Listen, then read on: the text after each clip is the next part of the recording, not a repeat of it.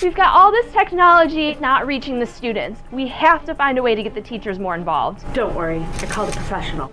What's the situation? We have got to find a way to get these teachers to stimulate innovation in the classroom. Which teachers? First years, Wi-Fi. strong. All right, I've got this handled. I've done it a thousand times.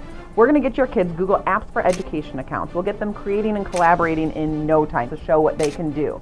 I'll help your teacher. When it comes to helping with innovative lessons, there is nobody better. Collaboration is key, and in order for all the kids to get involved, they have to feel like they have an opportunity to have a voice. Why don't we get them into a Google presentation? They're all working together. They can even suggest edits to each other so that they can make the final product better, publish it online, and you've got a real world audience. How are our research papers going? Uh, we're having a little trouble finding sources. Have you tried using those advanced search techniques we worked on?